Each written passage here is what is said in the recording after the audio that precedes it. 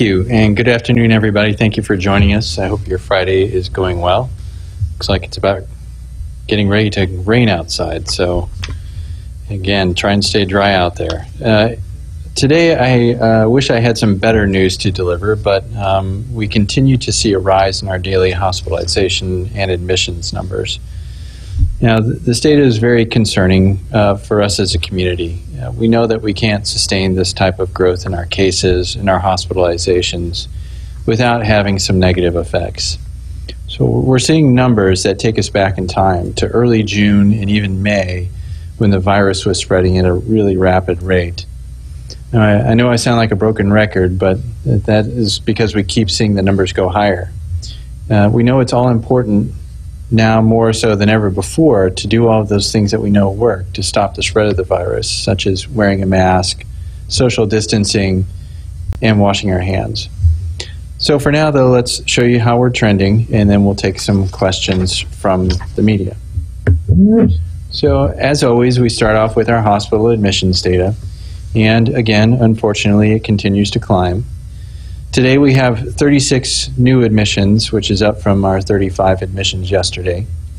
And our rolling seven day average is climbing too. It's now up to 34. Now, to put this into perspective, two weeks ago, the day that mandatory mask uh, ordering was instituted across St. Louis City and County, our rolling average was around 19. And that's a significant increase in just those past two weeks. So remember, we need to keep these numbers low if we want to prevent having to roll back any of those restrictions that we had earlier in the pandemic. Now here's our hospitalization data. Uh, the rolling average continues to climb as well. This chart represents our daily hospital census of COVID positive patients. Today's average has now surpassed 200. It's at 201. And that's up 16 points from Wednesday, and it's the first time that we've been over 200 since the first week of June. Again, another sobering commentary. Our hospitalizations did drop yesterday, which is good news. We were at 229 yesterday, and today we're at 213. But still a very high number, and we like to see that come back down as well.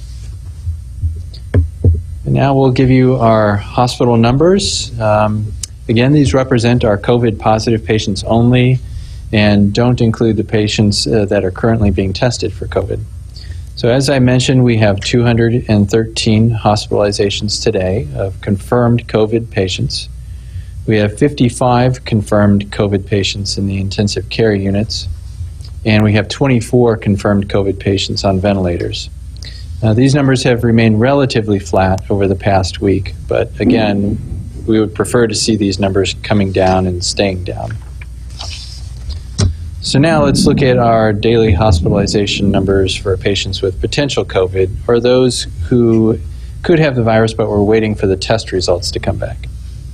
So we have 131 hospitalizations today of suspected COVID patients.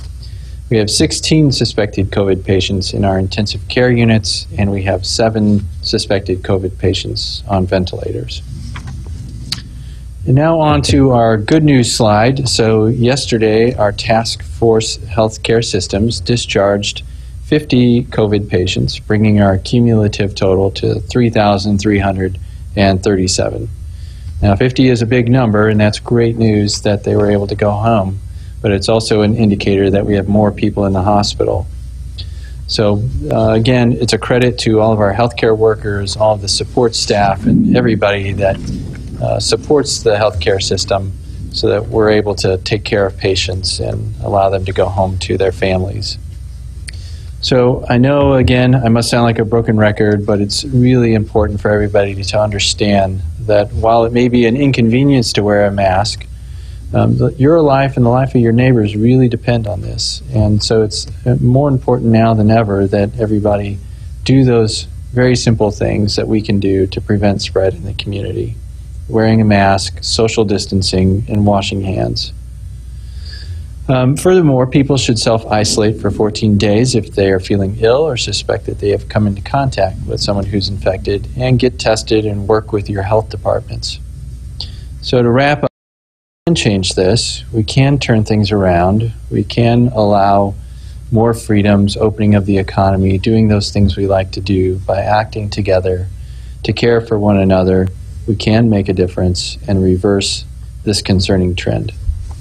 And so now I'd be happy to take some questions from the media.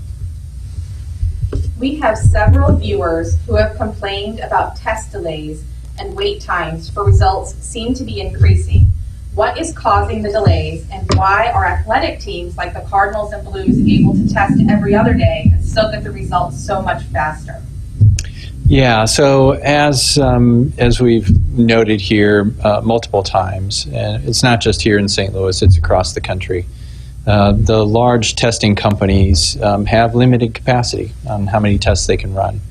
So, as you've seen, uh, increasing cases throughout the country, throughout our metropolitan area, uh, equates to more tests being run. Uh, there's limited amount of test capacity within it's it's particularly the national labs like a Quest and a LabCorp. Whenever they have more volume, don't have the capacity to run, it backs up all of the test results. And then there's a tiering system on top of that. So uh, the most important tests get run first, and those are typically people that are symptomatic or in the hospital, uh, things like that. Where people that are asymptomatic or have other reasons to get tested uh, generally get pushed to, to the back. So it's, it's purely a logistics issue. It's um, not enough testing capacity and more tests than can be run. Um, as far as the sports teams are concerned, um, I don't know specifically what their relationship is with uh, labs. I would suspect that they probably work with a private lab uh, and have some sort of contractual uh, uh, uh, arrangement where they can get their tests run in a in a daily manner. But I, I really couldn't uh, speculate on that. With the Missouri Hospital Association saying they are now unable to get access to federal data how are regional officials making sure they still have access to the numbers needed to guide health policies locally? Well, we use um, a lot of our data locally um, as well as submit it to uh, the, the federal government. So there's always been a dual stream of data reporting uh, within, at least within the St. Louis metropolitan area. So the data that we collect and that we share uh, with our audience and with other people in public health and other other folks. Uh, we we collect that um, within the task force as well as collecting it and sending it to the federal government. Um, so we're not as beholden to relying on that data coming back from the federal government because we we already collect it. Um, so it, it is um, it is a challenge though for areas that don't have the arrangement that that we set up at the very beginning of the pandemic um, to get that sort of data back quickly to make those policy decisions. Um, the other challenge, is, as you mentioned before, was the testing data and getting the testing data back in a timely manner to help drive policy decisions. So, so we look at multiple different data points on testing. We look at the overall testing, but we also look at our testing internal to the healthcare systems because we can turn that around a lot faster than those external partners. And that helps get us uh, that that data point a little bit earlier uh, than those tests that go on out in the community.